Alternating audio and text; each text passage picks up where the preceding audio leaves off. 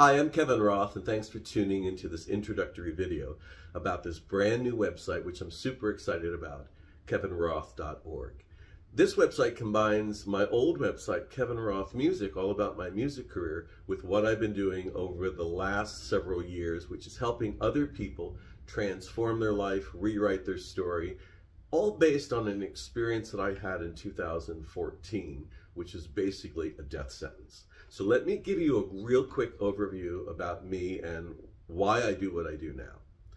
So in the 70s, I became known for playing the mountain dulcimer, and I made a lot of records for Folkway Records, and uh, became known as a singer-songwriter. But in the 80s, I had a big break for my music career when I sang the theme to a hit PBS TV show called Shining Time Station.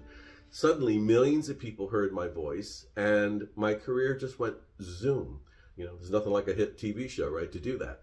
So what I discovered, I mean, I had a lot of fun, but I thought fame and fortune would bring me happiness, and it didn't. Uh, there were a lot of fun times. I did have, of course, moments of happiness, but they never last. And a lot of people, including yourself, were all looking for happiness. We're all looking for the answer to why am I here and what am I doing and how can I make my life better. Well, that became clear to me in 2014 when out of the blue, I was diagnosed with stage three melanoma. And although they removed the cancer, they said that it would come back probably within a year. There was a 70% chance of that little thing happening. And then I would be dead within two or three years because there was no cure for this kind of melanoma. So basically, I was given a death sentence and, more importantly, a wake up call. I asked myself three questions What really matters? Why does it matter to me? And what am I going to do about it? And I decided that I either got busy dying or got busy living. So I decided to transform my life emotionally, mentally, physically, and spiritually. So during that year, I really rewrote my life story and moved from the Midwest to San Diego, California. The cancer never came back, and I've been living exactly the life that I want to live ever since. No stress, no drama. I don't care about the music career. I just care about living an authentic life, knowing my connection spiritually, scientifically to the world, and teaching others what I do, why I do it, and how I do it. And all that came about is because a friend of mine suggested, you know, why don't you teach people what you did to transform your life? Because you kind of figured it out. And there's a lot of people stressed out. In fact, this was actually at the beginning of COVID, so you can imagine how many people were like really out of their minds. And show them what you did to transform your life and go from really a negative, stinking thinking kind of life, always reaching for something, to being at peace and living authentically and creating a life you love. So I thought about it and I contacted some people I knew on Facebook who played the dulcimer and said, do you want to know what to do to get yourself out of stress and feeling stuck and create a life that you really love? And I got a few clients to start and I was absolutely amazed that what I taught them, I mean, I knew it worked for me. I just didn't know if I could teach it or if it would work for other people, and it did.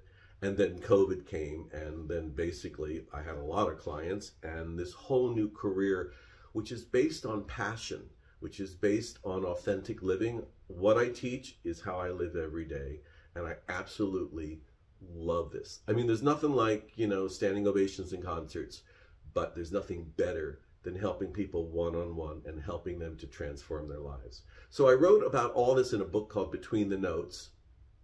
And over the years, I've developed this, uh, and that's what this website is about. So when you go to the menu, you will see a whole section on my musical career, a biography, a list of all my records and testimonials, reviews. Then there's another one for uh, coaching, you know, although I'm not really fond of the word life coaching, but that's kind of what people call what I do. Uh, I teach what I do basically. I'm a consultant, I do speaking engagements, I work one-on-one -on -one with people. And there's also a lot of testimonials from clients who've worked with me. There's a store finally, which uh, where I sell dulcimers. I teach dulcimeditation, which you can read about, where to get my book, courses, and all that stuff.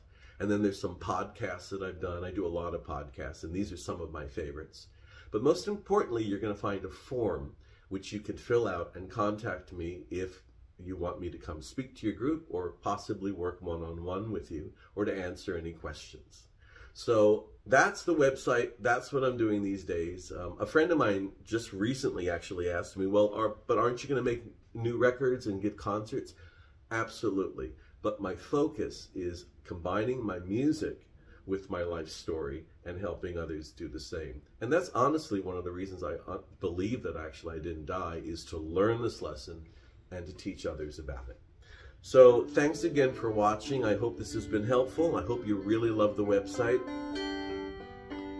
And I will leave you with a few seconds of Dulcimeditation.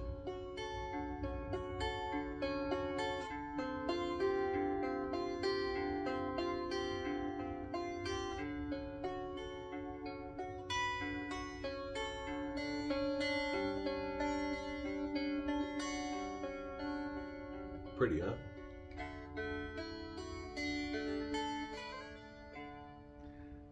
Thanks for watching.